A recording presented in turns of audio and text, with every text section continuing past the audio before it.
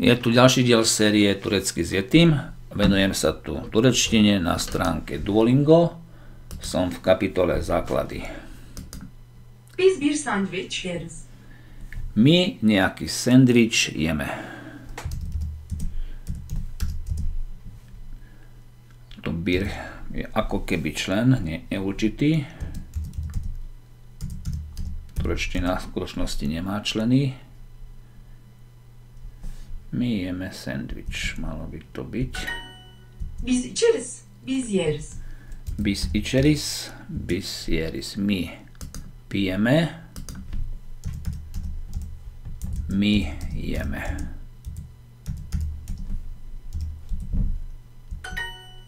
Biz su içeriz. My pijeme vodu. Mám to napísať po, po anglicky.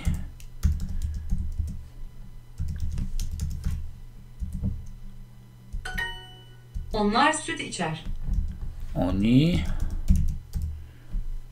mlieko pijú. Aspoň tak sa mi to zdalo. Onlar süt içer. Áno.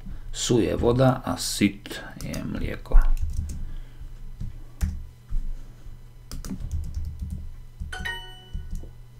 My jeme sandwich. Bis. Sandwich.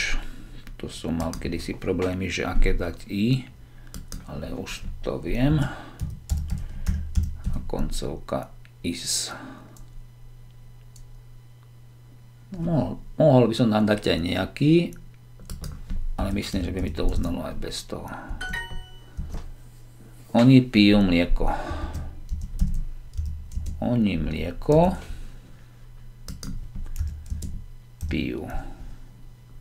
Stačí dať ičer. A posledné, my pijeme bis ičeris. My jeme bis jeris. Rovnaká koncovka prvej osobe množného čísla a sme na konci.